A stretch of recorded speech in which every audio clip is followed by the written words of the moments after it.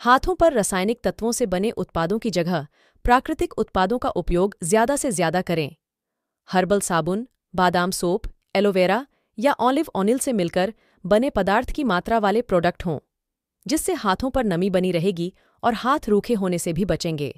रात को सोते समय कोई अच्छी वैरायटी का लोशन लगाकर सोए। इससे आपके हाथ रूखे होने के साथ फटने से भी बच जाएँगे। दिन में कम से कम दो बार मॉइस्चराइजर क्रीम अपने हाथों पर ज़रूर लगाएँ।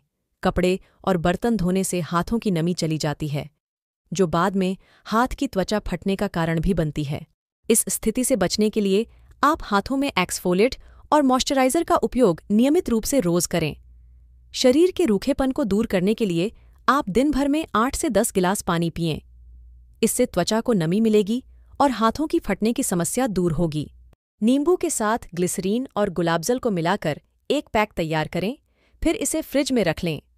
जब भी कोई पानी वाला काम करें तो बाद में इस घर पर बने लोशन को लगा लें और हाथों की मसाज भी करें, इससे आपके हाथ सुंदर मुलायम और खूबसूरत बन जाएँगे।